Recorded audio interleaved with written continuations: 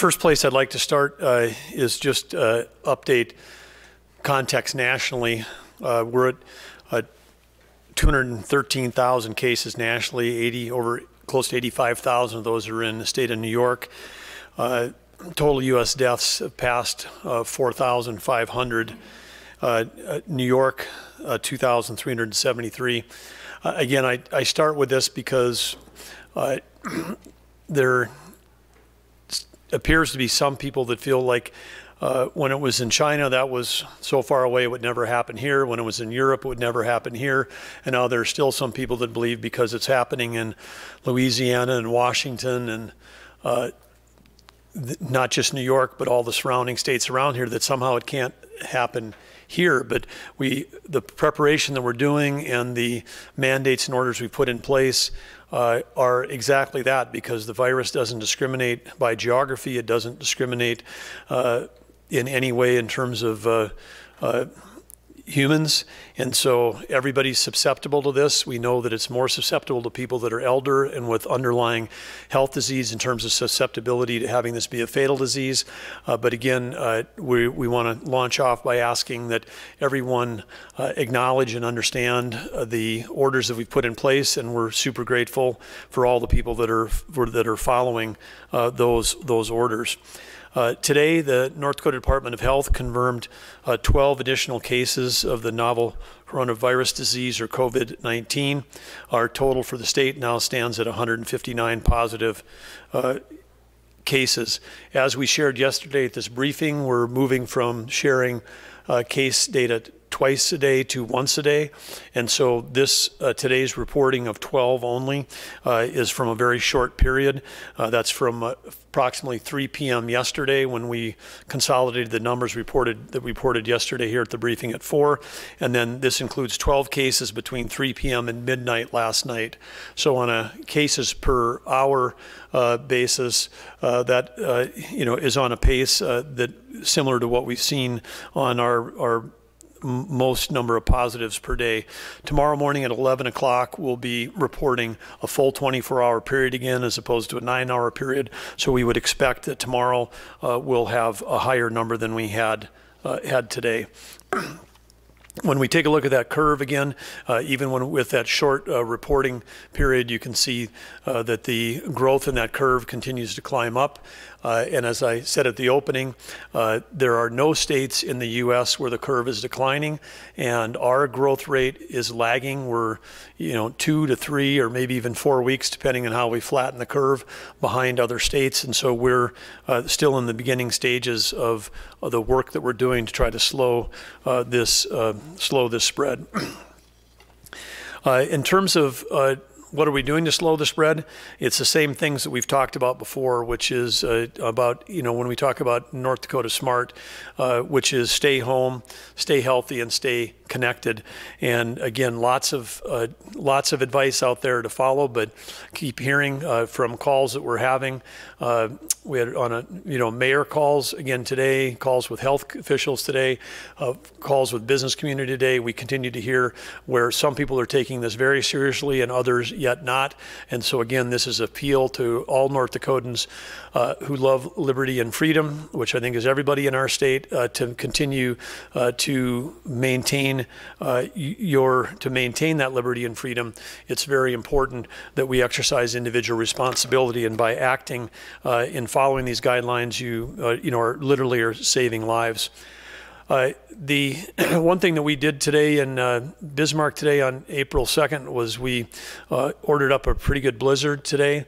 Uh, this was after things started to clear, and you can see the Capitol again on this slide. But I just wanted to report uh, to for others around the country that we've done a great job, at least on the outdoor social distancing. We've seen no violations of more than two people within six feet outside anywhere on the Capitol grounds today, uh, because we haven't seen anybody outside. And if schools were still operating, there probably wouldn't have been a snow day in Bismarck today. Uh, so I, am sure there was maybe some uh, kids disappointed they didn't get a snow day today because they had to keep working on their their distance learning. Uh, but for those uh, uh, snowbirds that are out there that are returning back outside the window of my office today, I did count over 50 robins in a tree that were first robins that I've seen of the year, and they're probably wondering why they didn't stay further south like other snowbirds. So we did have a, we did see a flock of snowbirds arriving today, and they they were not practicing social distancing. They were all huddled together in that same tree, all those robins. Uh, we want to, we've heard there's a lot of stuff going on social media. We've asked people to uh, be very clear about, particularly with information related to the virus, to make sure that they're getting good information. One of those some of those calls are, are based on uh, trying to suggest that the data that we have in North Dakota would indicate that we're somehow putting our neighboring states at risk uh, or that we're not uh, being responsible by having more government mandated uh, action. And, and so we just want to run through a few numbers. And the first of all is it'd be good for people to understand what our positive percent rate is. This is the percentage of new cases that come in that test positive out of the tests that we're taking. Today, 12 new cases out of 353 tests. And when I say today, this was just in a, in a uh, little less than a nine hour period from yesterday between 3 p.m. and midnight. That if we go back and we take a look at our, our rate for the uh, entire time, the 159 uh, positives out of nearly 5,000 tests, that's a positive rate of 3.2%.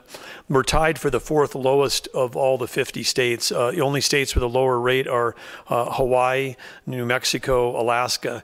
Uh, we're tied with South Dakota and Vermont at 3.2, and Minnesota's rate slightly higher than us at, at 3.2 uh, or 3.3%, slightly higher. But we're among the best states. I mean, saying best, meaning in terms of uh, we have a low percentage of positives relative tests. What does that mean? Does it mean that, does it necessarily mean that we've got less of a spread, or does it mean we're doing a better job of testing? Part of the answer is it means we're doing a better job of testing, and we'll take a look at that next, uh, where where we've completed.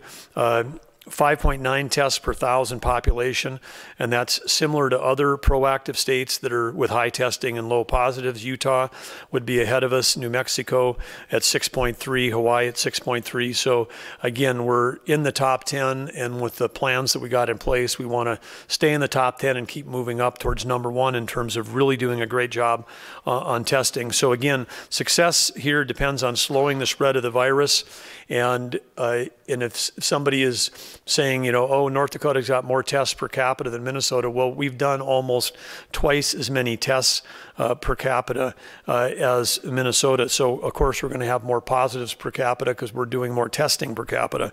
Uh, but again, uh, key here is for everybody uh, following the rules about keeping physical distance is the, the, the number one thing we want to spread or stop stop doing. And on that, it was you know mentioned to me today on one of the calls that in some of our smaller communities or counties where there is where there's no positives reported uh, yet doesn't mean that the virus isn't there. And if somebody thinks that going to the Cenex and having coffee with nine people, uh, sitting closely together with your old crowd, and and they have less than ten, then you're following the rules. No, it's less than ten people people and everybody that's there is more than six feet apart. Uh, or if you're having coffee at the Cenex and then you head over to the elevator and talk to a different group of, of eight or nine people, uh, again, you, you could be in a position where you're, you're a spreader and may not even know it because, again, you can be asymptomatic, having meaning no symptoms and spread it. So, again, even in our communities where you may think it hasn't reached you yet, please act as if it's already there because the, the data on the testing is at least 10 days behind and also underreports the number of positives. The uh, Next thing we want to talk about, next topic, is the uh, uh, uh, COVID-19 Community and Nonprofit Response Fund. Uh, we know that many North Dakotans are looking for ways to help fellow North Dakotans during this crisis. And uh, the best way to do that, of course, is to donate to some local organization that you're already familiar with. Uh, for example, a, whether it's a local senior citizen center, your local food pantry, uh, your local medical providers, uh, you know, you know them, you trust them, you know who they are, and you can donate directly. However, if either they're not able to accept donations or if you prefer, we've got an opportunity to uh, contribute statewide to the North Dakota COVID-19 Community and Nonprofit Response Fund, uh, which will be hosted by the North Dakota Community Foundation, another highly trusted and well-known uh, organization. A link to this fund is available on our ndresponse.gov website, or you can go directly to their website, which is at ndcf.net.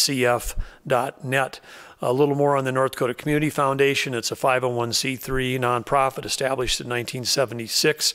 Uh, they're very experienced in managing disaster relief funds. Um, many would know uh, that way back in 1997 that Governor Ed Schafer asked uh, the North Dakota Community Fund to manage private donations that came in for the uh, huge floods that uh, that devastated uh, Grand Forks. And in 2011, Governor Jack Dalrymple asked them to manage the private donations for the statewide flooding that occurred in Minot and other places in those. Today, we're going to hear some brief comments from Kevin Dvorak, the President and CEO of North Dakota Community Foundation, who will now briefly explain this process for those willing willing to contribute. Thank you, Kevin.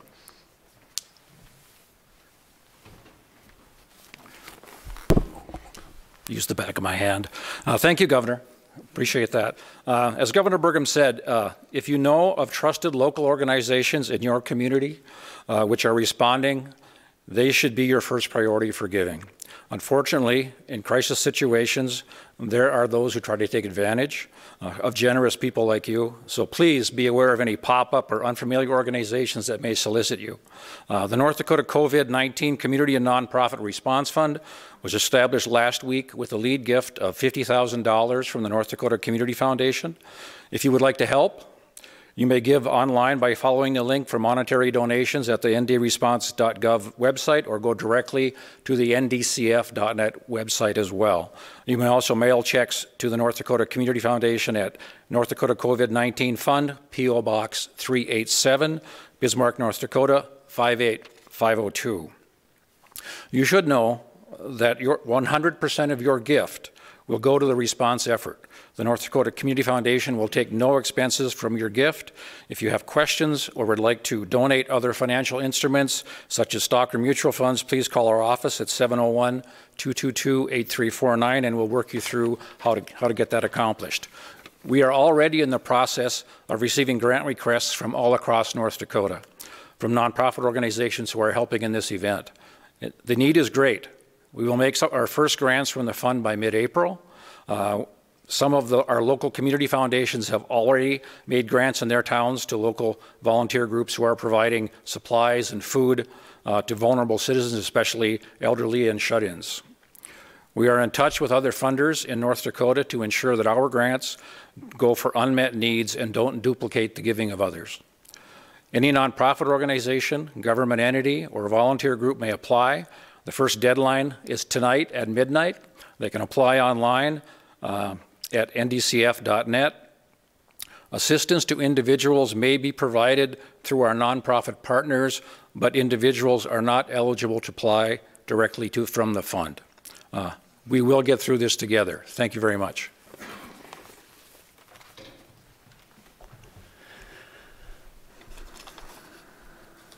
Thank you, Kevin. We're we're deeply grateful to the North Dakota Community Foundation for taking the lead on this fund and for their lead gift of $50,000.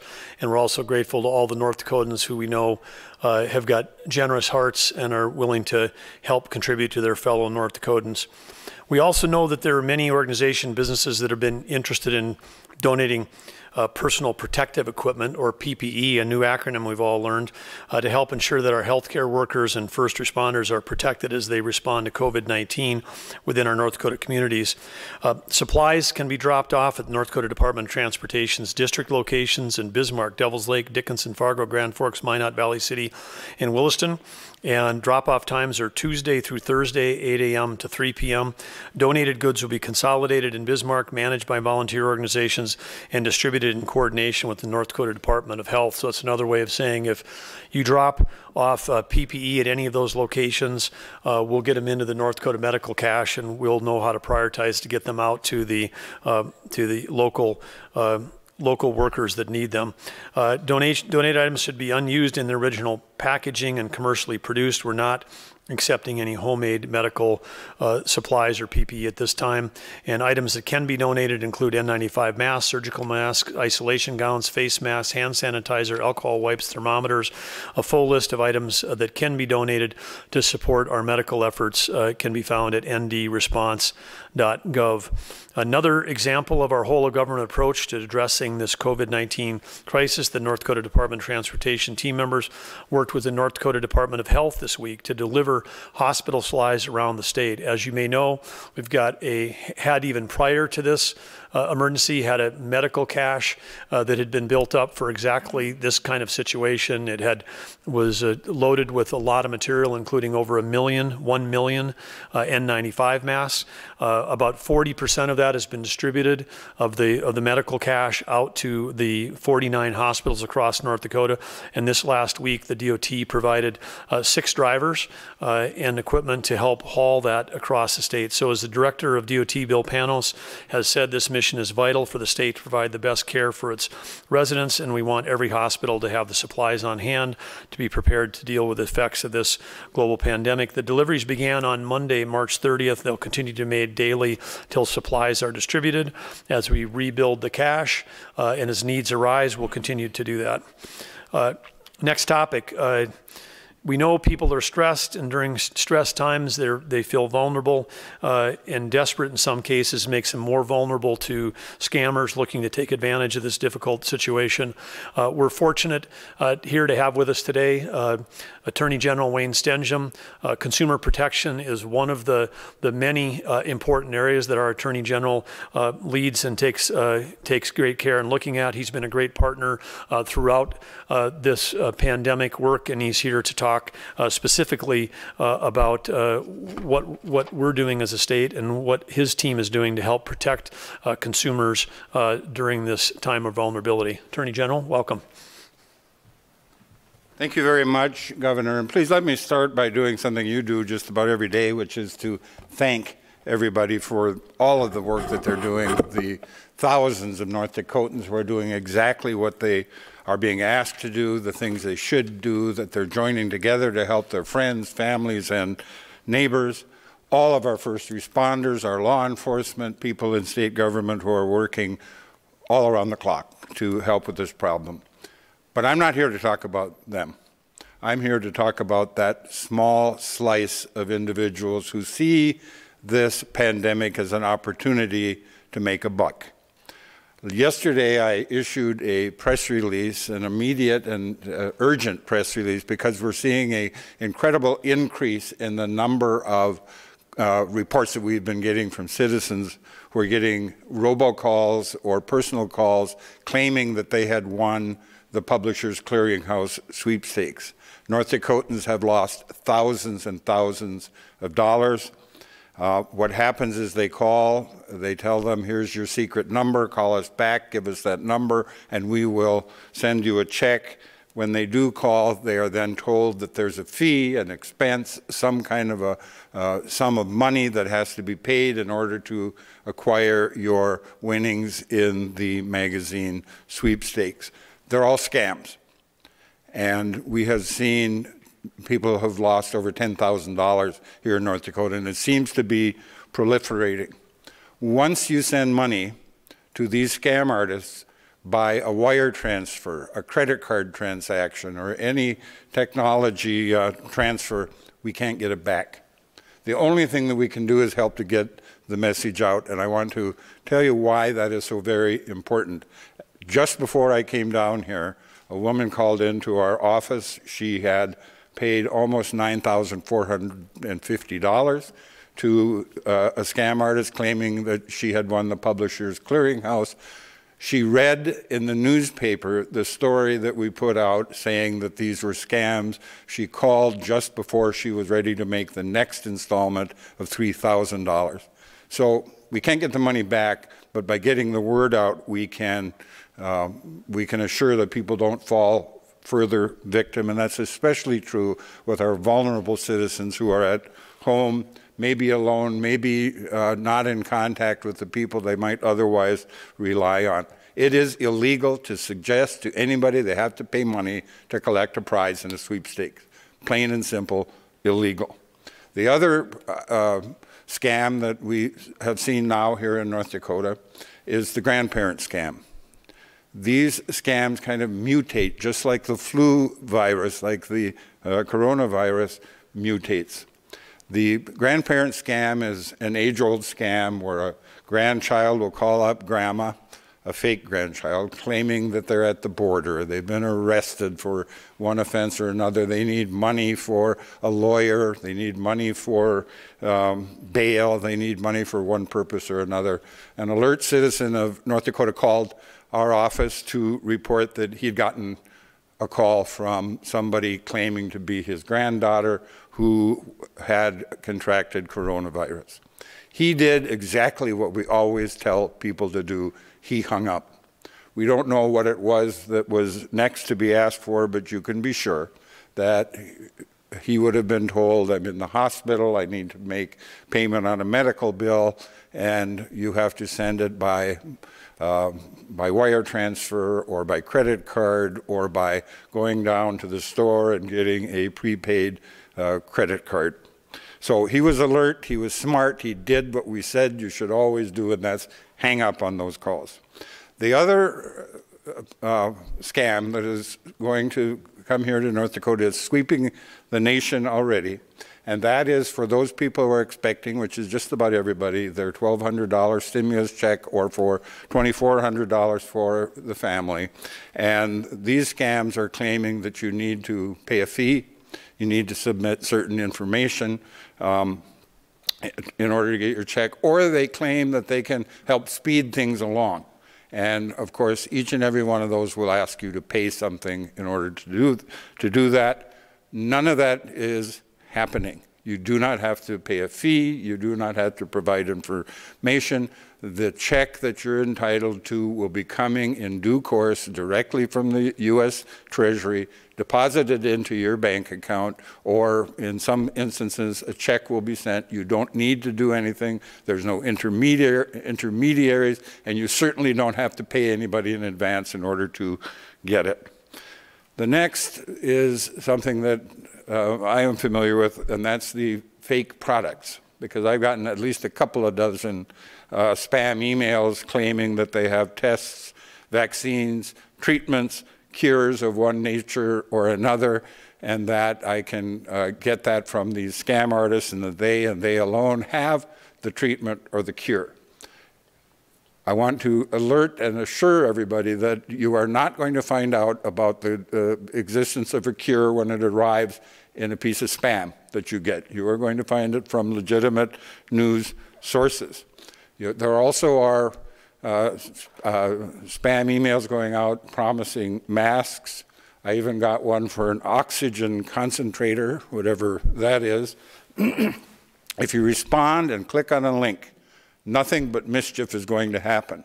And if you attempt to buy something, you will at some point have to enter your credit card number and your PIN number and your expiration date and perhaps even your mother's maiden name. And then in exchange for that, you will get a inferior product, or more likely, you will not get anything at all. And what you will have done is given your credit card information to somebody who can use it for purchasing whatever it is these con artists want.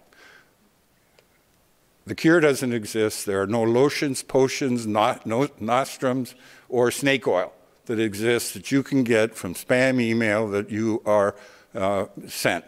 Ignore it, delete it, and never, ever, ever click on a link in those pieces of spam. And then finally, I just want to touch on the issue that's been brought up uh, before, and that's the charities. In America, we're very generous people, and in North Dakota, even more so. But if you're going to give, I hope you will give generously, but you also need to give wisely because there no doubt will be all manner of scam artists coming out trying to claim that they are a legitimate charity or that they are uh, somebody who can get money directly somewhere.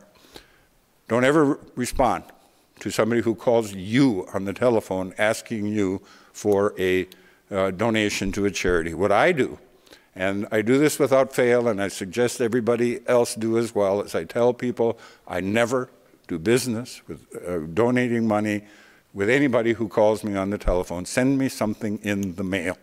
Every legitimate charity will send you something in the mail if you ask.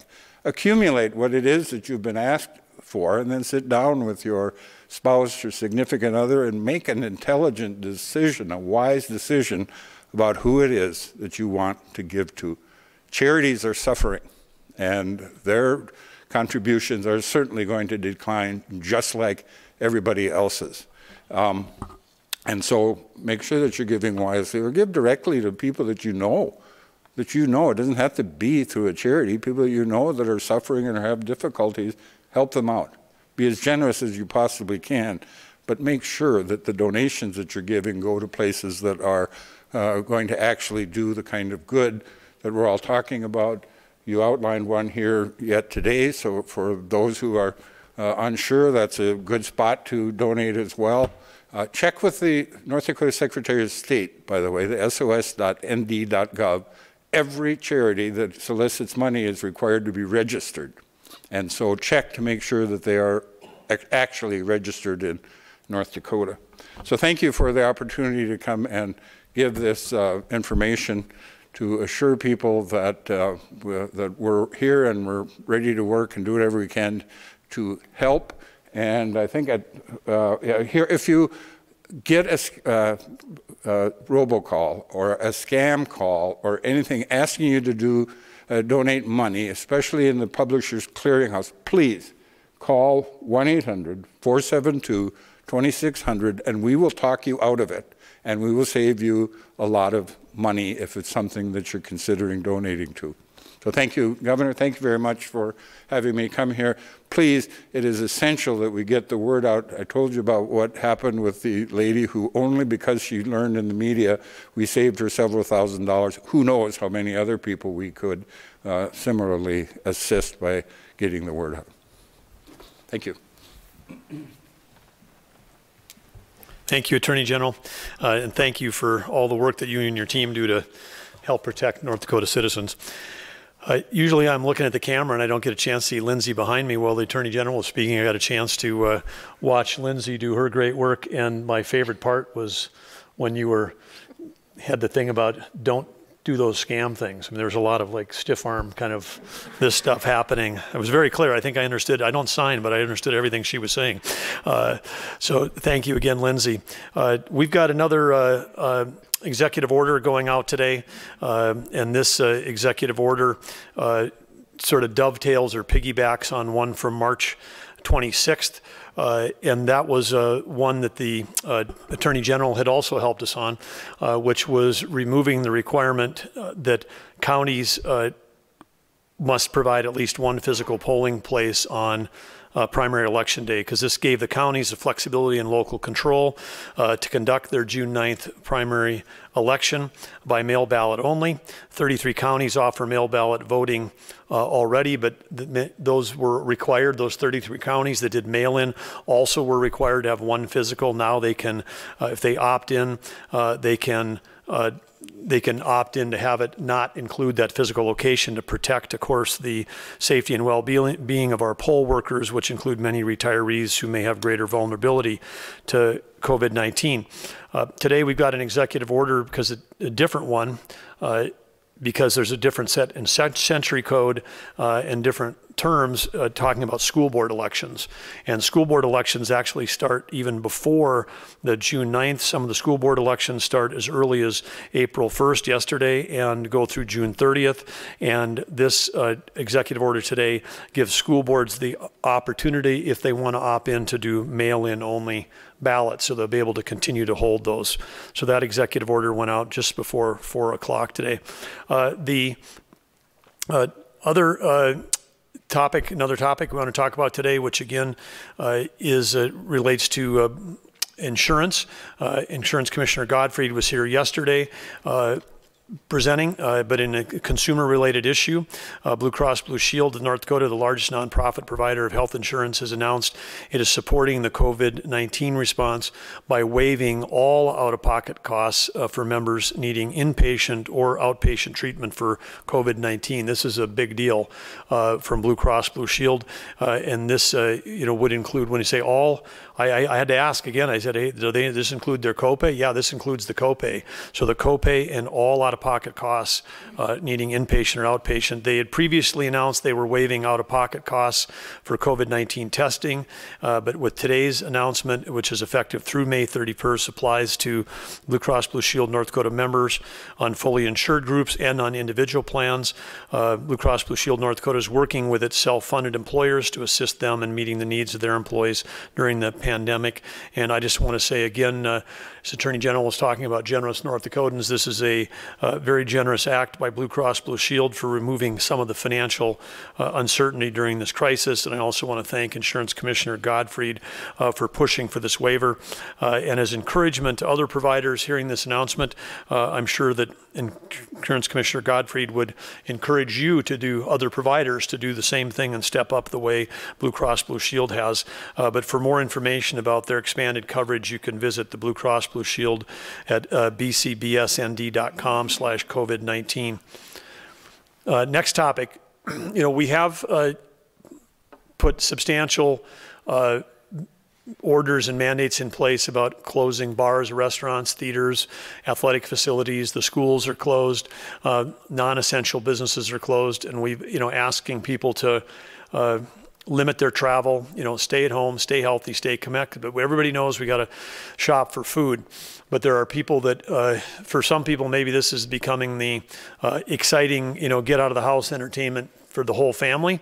Uh, and we've heard from the North Dakota Grocers Association that they would like to ask uh, North Dakotans to uh, even though this is certainly shopping, uh, grocery shopping is necessary and encouraged, that there are some guidelines that the, uh, the North Dakota Grocer Association wants us to help get out because these businesses can remain open and keep uh, the important work they're doing as long as they've got us, they're keeping their staff uh, healthy. So whether you're a grocery store, a supermarket, a big box retailer uh, with grocery services, you know, we are hearing from all of them concerns that people aren't doing everything they can, the shoppers, to practice social distancing and protect their workers. Uh, these team members are there day in and day out. Uh, when the shelves are cleaned out during the day, people are working there all night long uh, to restock those shelves. And of course, we know that uh, there's exposure uh, because of the concentration and number of visitors. The North Dakota Grocer Association has provided some solid guidelines. We strongly recommend everyone follow these for the health of themselves and for anybody working in these stores. Uh, again, using sanit sanitizing stations or wipes uh, when available. Uh, again, which we tell everybody, indoors or outdoors, maintain six feet of separation between yourself and others, whether that's customers and where possible with employees. Uh, avoid social gatherings in the store. If you run into uh, neighbors and friends here, uh, the rules still apply about social distancing.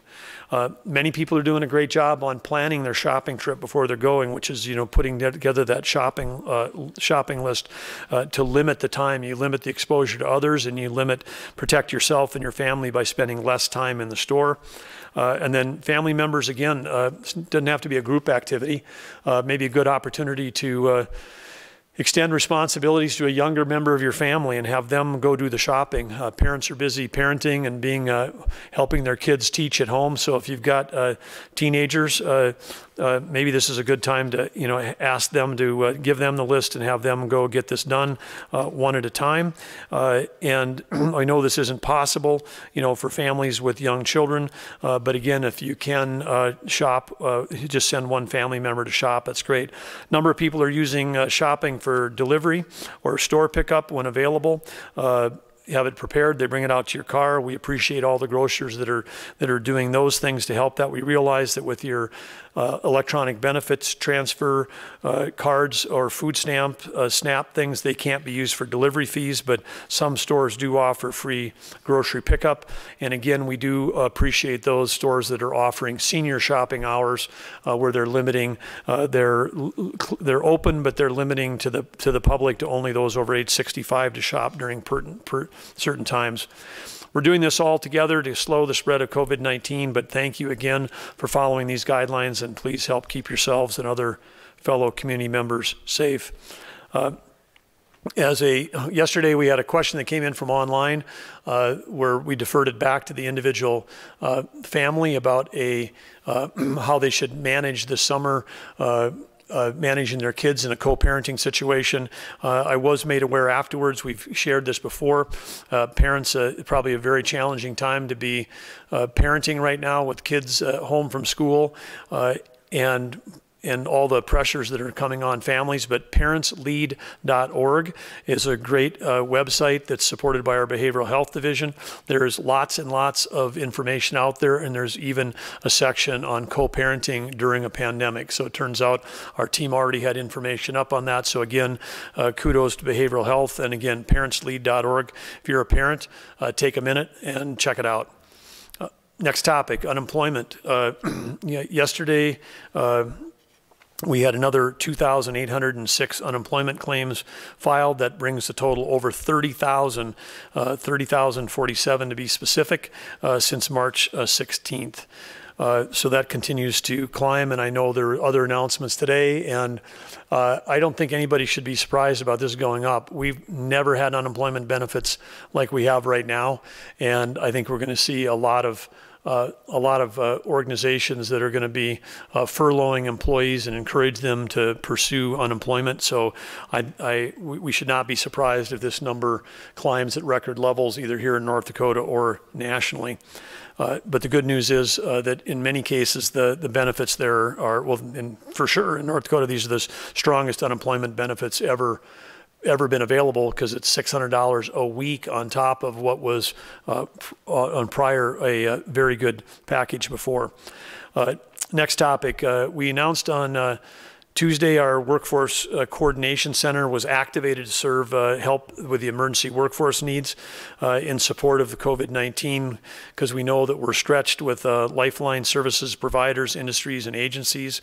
And whether you're out of work, retired, or just want to help, we ask that you thought, thoughtfully consider volunteering to help during this emergency situation. We're looking for both volunteers and paid staff.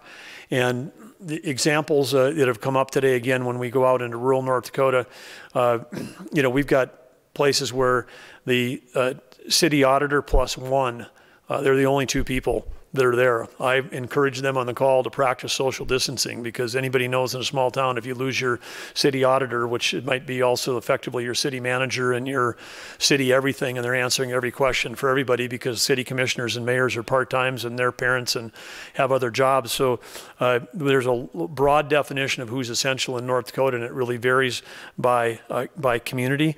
Uh, but uh, again, uh, in this case, even if you're someone that's got an accounting background or you're willing to volunteer and answer the phone. Uh, if somebody uh, uh, had to stay home for a couple weeks and was isolated, your your little your small town in North Dakota may need a volunteer to come and staff the phone uh, at City Hall. So if you are uh, interested in volunteering your services, whether it's in healthcare or finance, accounting, or anything you want to volunteer, go to the Workforce Coordination Center.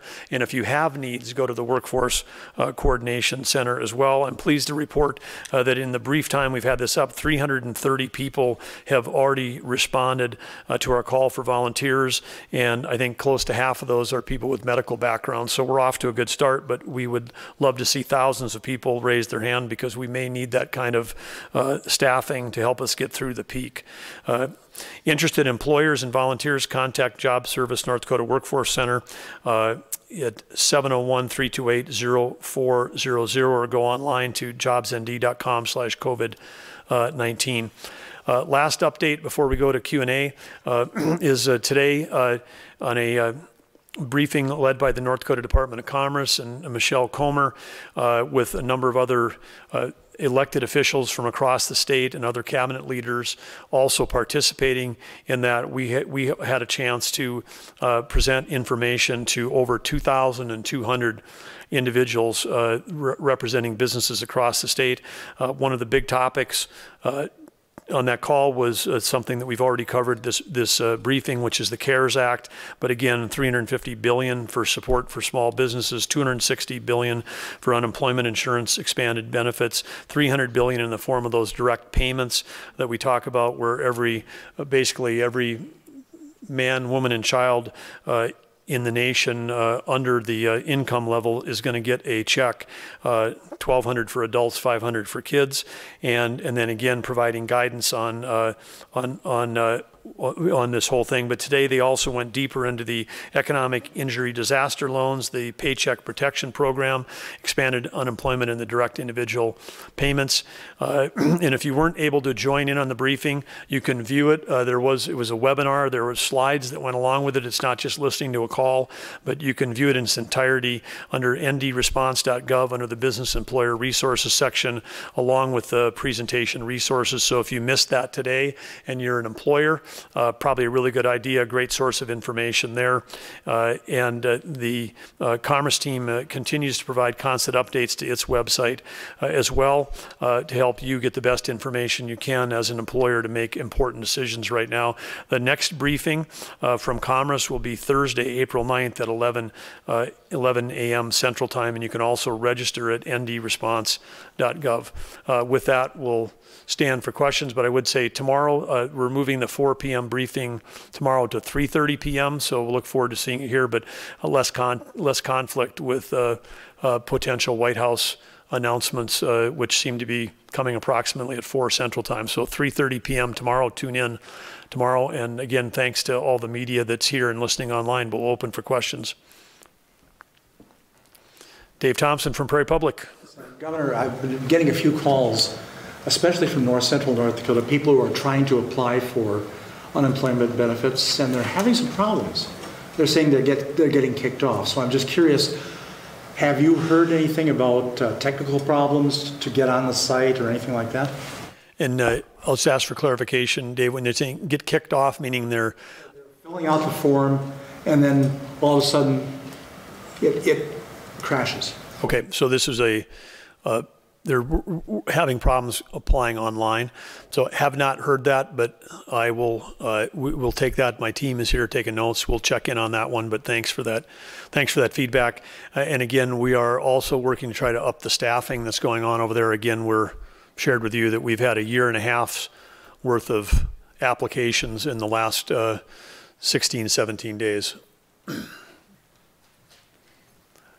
one coming in from online.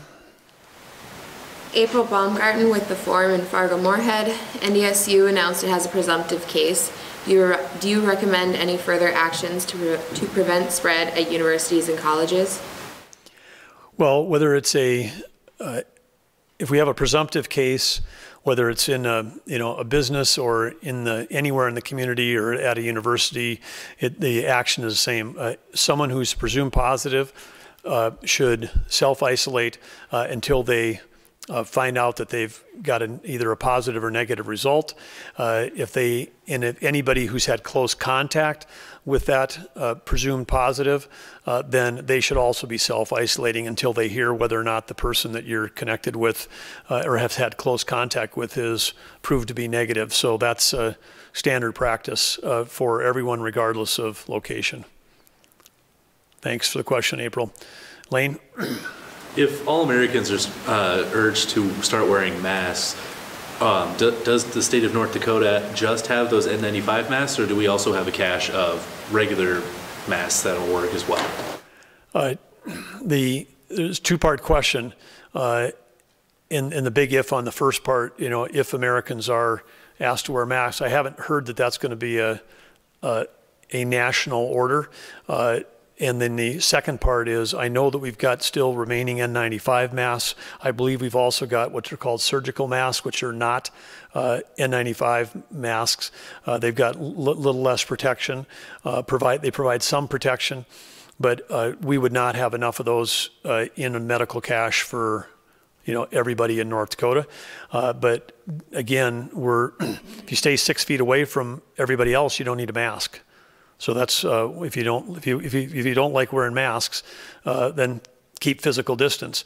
Uh, for medical providers that are working with people that are, are, for example, that are presumed positive, maybe positive, or have other disease, diseases, that's where we've got to make sure that, you know, for the first responders and the medical providers, we've got to right now make sure the equipment goes to them because they're not able to do their job and stay six feet away, uh, and they're in regular contact with people that may may possibly have COVID. So we're concentrating our resources where it can protect uh, the people the best, and for everybody else uh, I said, you know, skip the mask and stay stay further apart. Jacob? Uh, Governor, in reference to the president, he said that he's expecting between 100,000 to almost a quarter of a million deaths related to COVID-19.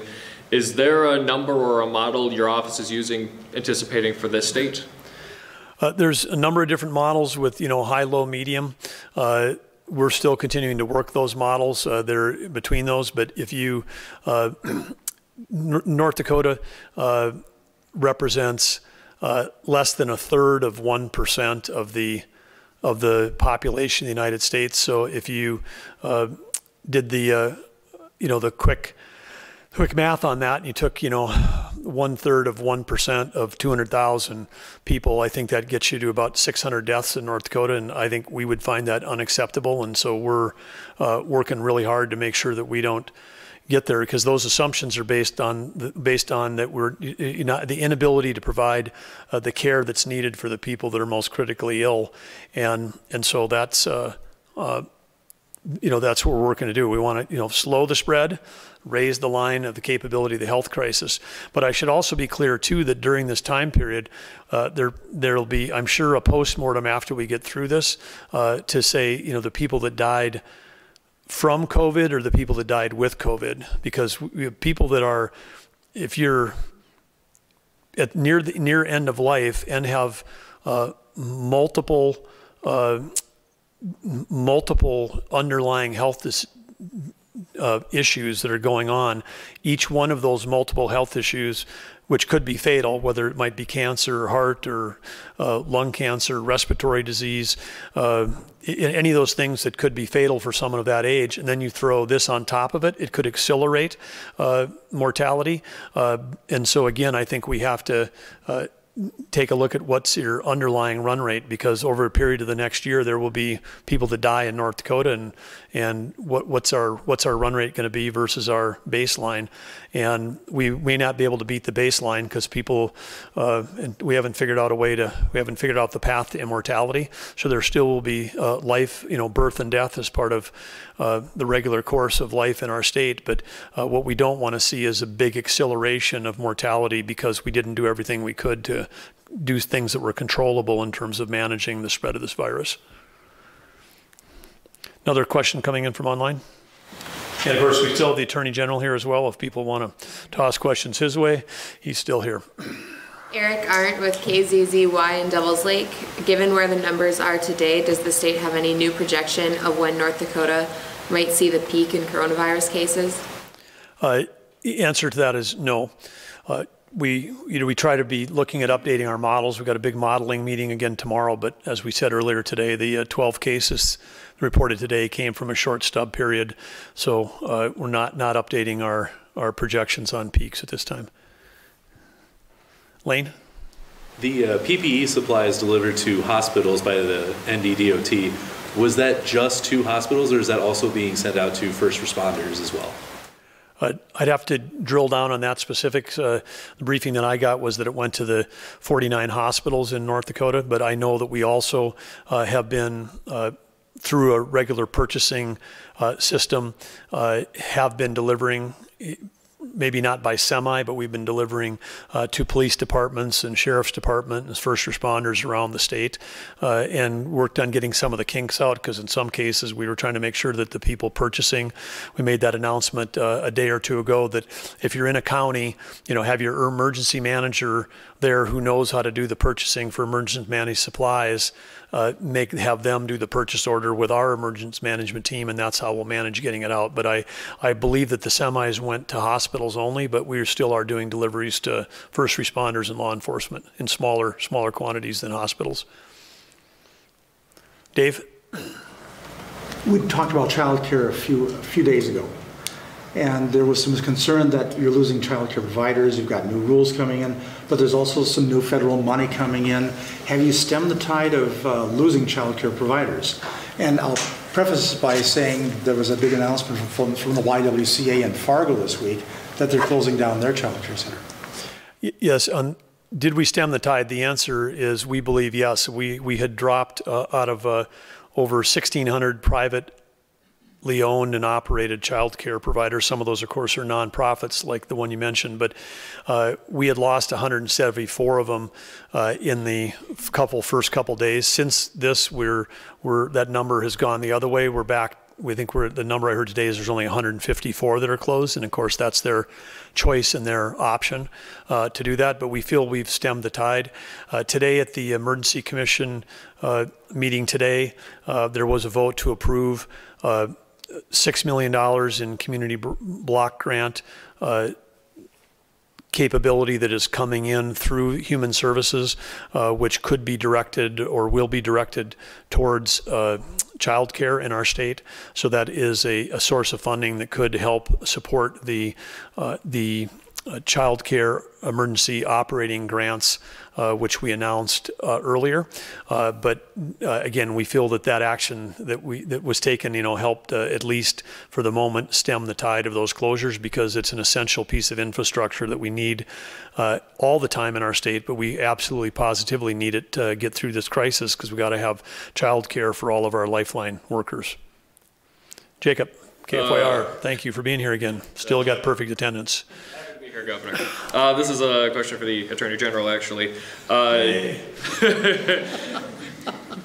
you mentioned uh, the generosity of North Dakotans, but you also said that charities are suffering. Wonder if you could add some context to what you mean by that. Well, everybody's income is down, and the disposable income certainly, and that is the source of money that most people have to make donations to charitable causes. And so, as income goes down, the economy suffers, the ability of people to make donations is depleted as well. And I'm sure that uh, any charity that you talk uh, to, and I don't want to mention Prairie Public Radio by, in particular, but uh, I'm sure that they're experiencing the same kind of thing that I'm seeing or hearing about happening uh, everywhere. The, just the donations are going to be going down because people's income is going down.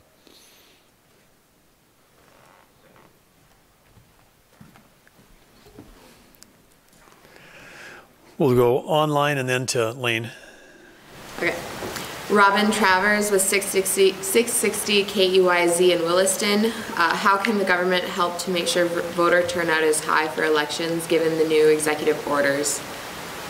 Uh, on how can we assure uh, turnout uh, is high on these local elections? Again, uh, the the burden, uh, particularly on school board elections, really is on the on the local schools, and so if they're uh, going to uh, mail-in only as an opt-in option that they have for a school board election. Uh, that you know, local newspapers, social media, all the marketing methods they do to do that, because sometimes you've got. Uh, there are school board elections that have happened in North Dakota with pretty low turnout, but uh, because it may not follow fall on a normal election day, uh, people may not be clear on where to vote. So again, would encourage uh, encourage everyone to do that. And certainly, if you've got uh, you know students that are that you're uh, that are at home, uh, making sure that you know the parents of those kids who ought to have a voice in this thing that they know that those elections are coming up. Uh, you know, property owners uh, that are paying property taxes that are supporting those schools. So I would think you know maybe the county tax department, uh, uh, the schools, the working through their kids. Uh, but it's possible with you know sometimes these uh, school board elections were held at a time where maybe it wasn't convenient for working parents to to you know get there to vote. In some cases, we've seen when you go to online online mail-in balloting, you can actually get voter turnout up versus down. So it doesn't necessarily have to uh, mean that we're going to have lower turnout. It could actually increase because it actually could make it more convenient for people, particularly during these challenging these challenging times. And if people are working from home, everybody should have time to fill out a mail-in ballot because you're saving all that time that you're not commuting every day or dropping kids off at school. So, uh, would encourage all those local political subdivisions to really get the word out, particularly if they're going to mail-in ballots for the first time. It's really incumbent on them to get the word out. Lane. The uh, White House has urged rural areas to listen to the information because they're not invincible as well. Do you feel like North Dakota has done enough to inform these rural areas, or do you think there's more that could be done for them? I think we've still got some work to do, and I, I mean, media's been great uh, covering these, you know, these daily conferences. We're putting uh, stuff out on social media from the state, but uh, you can be the, you can be a state, any state in the nation, right now is doesn't match the hundreds of millions of people that are on social media every day, often spreading misinformation uh, on all range of things, uh, and it's just. You know, er, everything from uh, people, you know, saying that uh, this thing may not be real. There's still stuff like that floating around on social media in North Dakota, shockingly, uh, as Americans are, you know, dying every day. Uh, so it is uh, so so there, it is again and i've put the appeal out on all these calls whether it's talking to bankers whether it's talking to business leaders today whether it's school board members whether it's the local medical communities community the local hospitals uh, everybody's got a responsibility to try to communicate to their constituents uh, the importance of this and that it, that it really matters that by practicing uh, the guidelines that we're giving and and uh, following the the executive orders we've put out we are going to we are to save lives. But I, I do think it's easy to to look at a map and go say hey we don't have any positives in our county.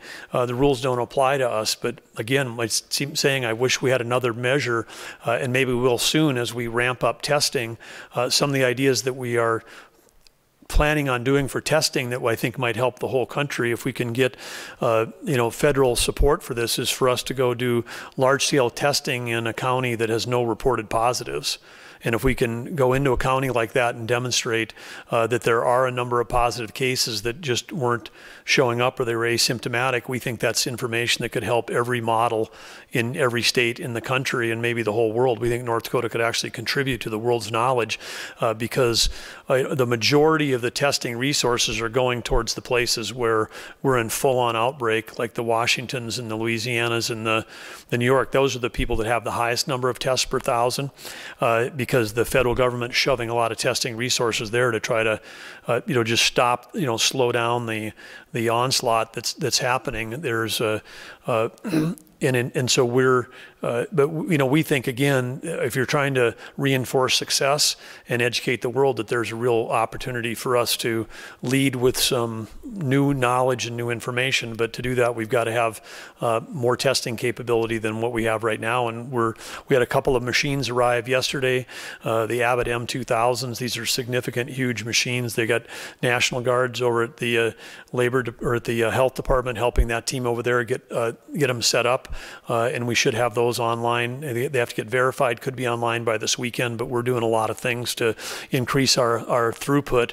Uh, and with more data, we should be able to do a better job of educating the public, even in the rural areas, that this is super serious. Dave? Me for this one. When it comes to social media, You're asking for forgiveness before you even ask the question, but when it, when it comes to social media, should we practice social distancing?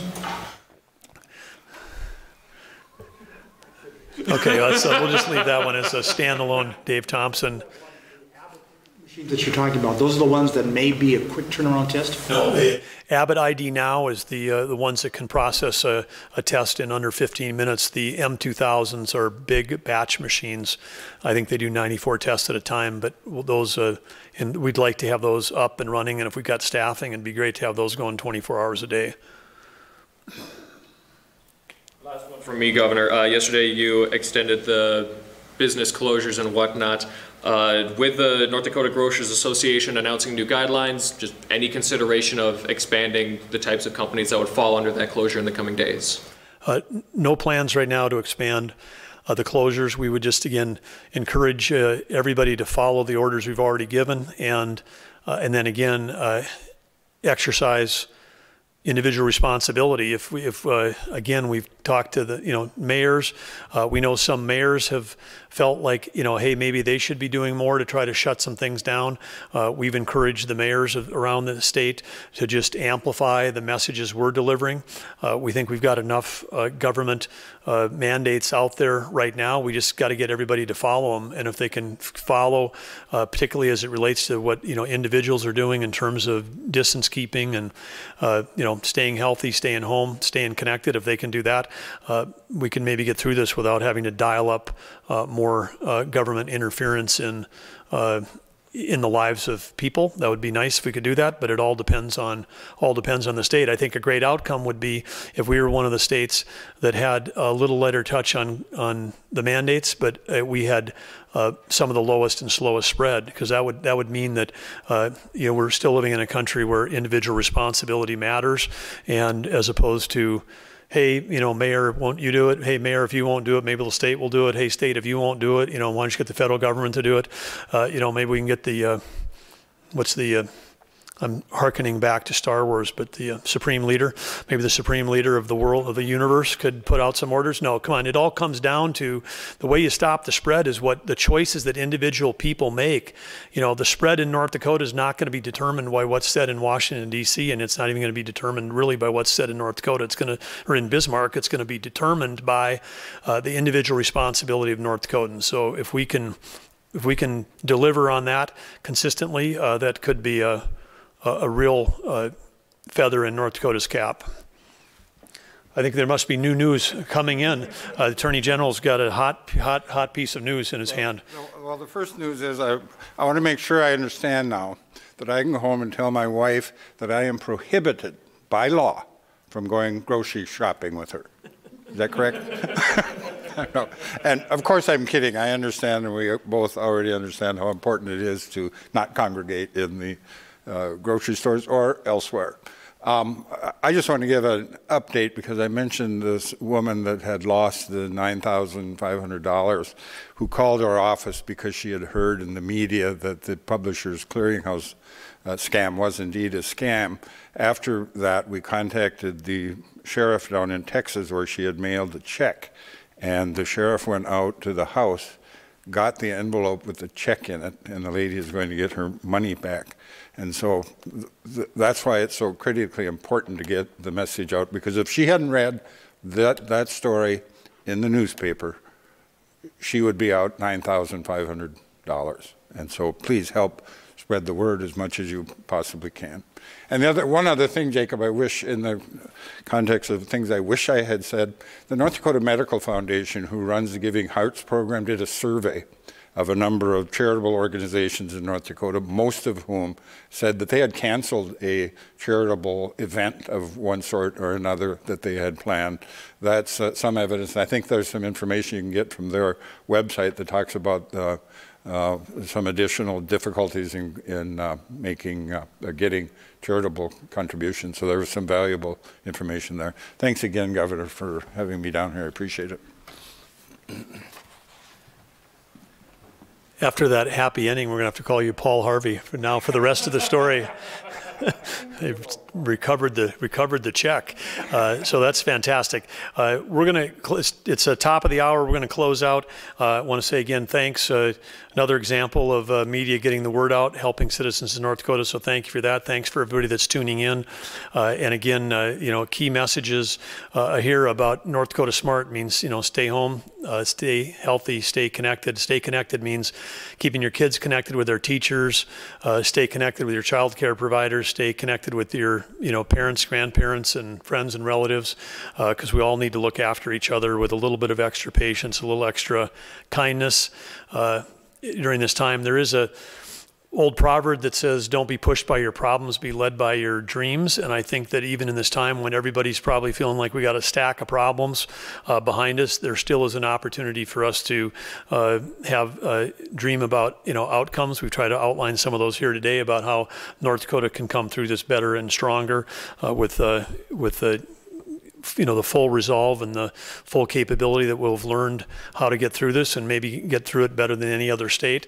Uh, so let's keep dreaming about that and keep the communication going. And again, thanks to all the people and all the members of Team North Dakota that are doing great work uh, keeping their agencies going and serving the citizens of North Dakota. So thank you and uh, thanks for being here. We'll see you tomorrow at 3:30 p.m.